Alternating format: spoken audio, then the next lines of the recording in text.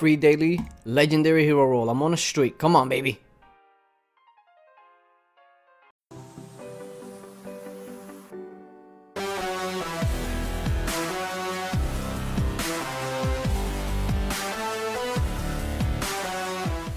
What is going on gamers? Aevatrex here and today we're gonna go ahead and hop back into this account and we're going to be switching out Rockno's talent as we usually do.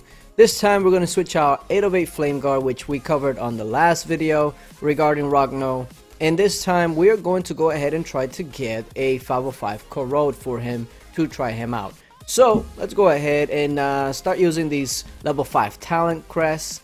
Um, don't need a War God if you don't already know the story behind this account, um, don't know what to tell you. I can't be saying it every single time. Uh, Alright, so Heavy Blow, we don't really want that either. Flame Guard, we already got that. It's funny enough, when I was looking for Flame Guard and when I was looking for War God for these uh, Rockno, they were nowhere to be seen. And now, they are everywhere.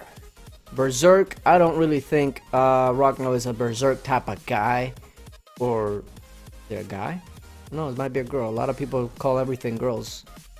Um, Bulwark. I believe we already covered Bulwark. I'm not 100% slow down.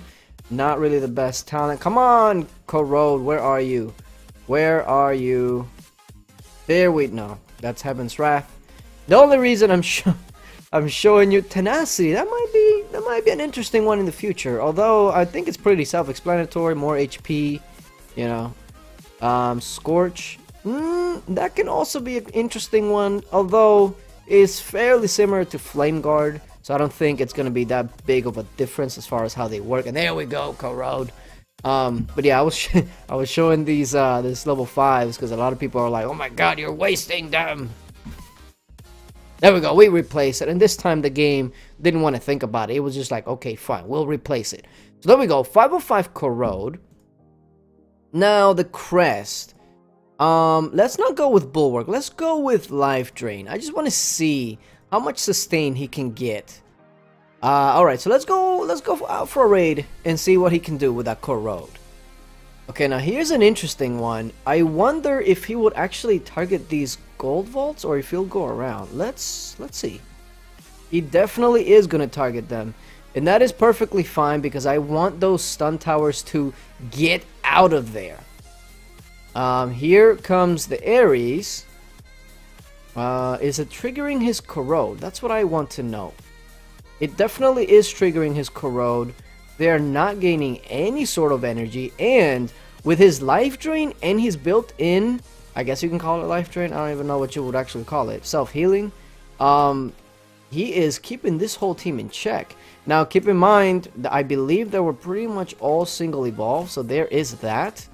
But his corrode is, uh, it seems very, very powerful. Okay, so let's move on. Actually, let me go ahead and take some of these mana, because I'm, I'm, looking a little mana dry right now. Uh, but yeah, let's go ahead and move on to the next one to see how it fares. Okay, so we have an altar here. I don't know what I'm going up against, but uh, we'll see. It's a whole double evolved team. Oh my goodness. This might be a problem. Um, but his corrode is actually activating quite well. Even though the Cupid procced, his corrode is keeping them pretty much at, uh, at bay. Now keep in mind, this is 1 versus 5. But his corrode is doing work. I don't really know what's healing them. It might be the pet. I don't know. But uh, he's staying alive. And these are double evolved heroes. So it's not like they're that much weaker than it. Okay, I think the Cupid is about to go down, and if this is a battle of attrition, who knows? The Cupid just came back up and procced. That might be a problem, because it revived. Okay, so there goes a hero. There goes Cupid. Here's a problem, though. There's an Anubis and a Skull Knight. I don't know how this is going to fare, but here's a here's the thing, though. He's not dying. Like, he's not dying. The Anubis is hurting. The Skull Knight is not really hurting, but at the same time, if we can just keep the Skull Knight from proccing, that Skull Knight might be in trouble. Uh, let's see. He's just, he's, I think he's just gonna chill. Hmm. Look at his HP, look at his HP. He was just about to die. And he is keeping an Anubis and a Skull Knight team at bay. Now granted the Anubis is not double evolved, and I think he's about to bite the bullet here. But man, when you think about it, it was 1 versus 5 with a full-fledged Skull Knight coming at you. Well, what else was it? It was like a Cupid, the Anubis went down, it's just, you know, Anubis has like 7,000 revives. That was a pretty, that was a pretty interesting uh, showing there from him. So let's go to this next altar and see what they have here. I don't know. I have no idea. Alright, let's see. Ooh, this one might be a little bit more interesting. The, I believe the Ares procced on him, so he might be done. Yeah, he's he's done. He's done. But if that corrode activates and it actually hits the Ares before he actually gets to proc, he might be able to pull this off. Uh,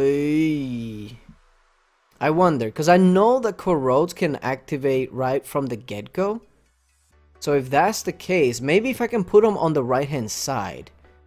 Um, okay, actually, he transformed in this one. This might be the difference maker here. No, the Ares procced. But at the same time, he's still not going down. Uh, he might go down right here. He might go down right here. Actually, he's still not going down. Holy moly. Okay, respect. Hey, you gotta give it up to him, man. The, the guy... The guy is holding it down right now. He is keeping them at bay. Can he actually win this? He's whittling them down. The revives are always gonna get him like this. Oh no, I think he's done. Oh, that was looking real good until I believe it was the Cupid or the Pumpkin Duke died and revived and actually got his proc off. But that was actually, that was actually quite interesting. Hmm. Let me see if we can replicate that again. It looks like he transformed. Now his corrode is going to start doing work. Um, it actually, and it actually is making me wonder, what if I put, what if I put scatter on him? That might be interesting, actually. Uh, but it looks like on this one, he actually will pull it off and beat this.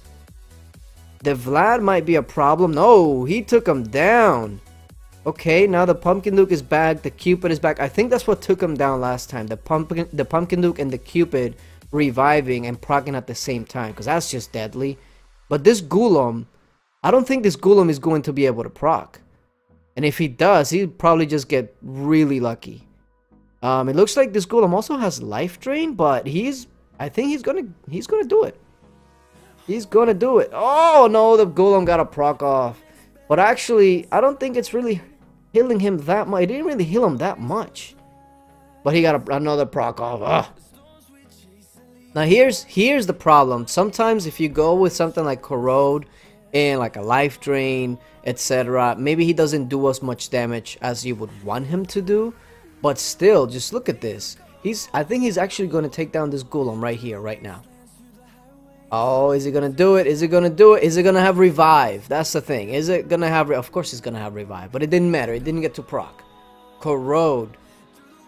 And that was him by himself. You imagine pairing him with a Skull Knight that is also Corrode, or like for instance me, I have a Dread Drake that's Corrode, my Skull Knight is Corrode, and then if you put Rockno also in the front line with Corrode, or something silly like a Michael with Corrode, that's GG, like that's, you're done. You're done, son. So, let's do another raid. Let's see what else we can find out here in the in the wild. Um, this one, eh, we'll try it, we'll try it. Can he go through the wall? He definitely will go through the wall. I want to attract the attention of the Skull Knight. There it is. That's what I wanted to attract. The attention of the Skull Knight. I want to see what happens here. Corrode at work. Oh my god, he is getting destroyed right now. What just happened? What just hit him? It wasn't the Skull Knight, or was it? I don't know. Ah, uh, uh, no. Now let's go back to this. I want to see if, if he can get a little bit of help what this actually would look like. I don't think he got on right at the beginning. So I don't think the Ares actually got a proc off. And the more he's going to get hit, the more that Corrode is going to activate. So it actually makes it even more useful the more he's actually hit. Um, now, I think that Ares actually has Life Drain, which is like who uses life drain on Ares? But it's actually, I, I mean, it's helping him here. That Cupid though is about to bite the bullet, but watch him have revive and proc. Watch it, watch it, watch it. Actually, the Cupid hasn't taken damage in forever. What the heck? It keeps missing now. Okay, actually the Ares is dead. There goes the Cupid. I told you that he was going to revive and proc. But I don't think it did anything for him. The uh, Pumpkin Duke somehow is still hanging in there. Must have have revive also. Um... And you know what? It's, it's actually helping his corrode. The more he gets hit, the more his corrode activates. So that's one of the most overpowered thing about corrode is that it doesn't have any sort of specific cooldown. The more he gets hit, the more chances you have it, that it'll trigger. By the way, this Anubis is about to bite the bullet once again. That'll be his second revive. Now he's on his third revive. So again, the Corrode is a very, very good talent on him. Um, I can really see it shining on something like Lost Battlefield, uh, even like Fortress Feud.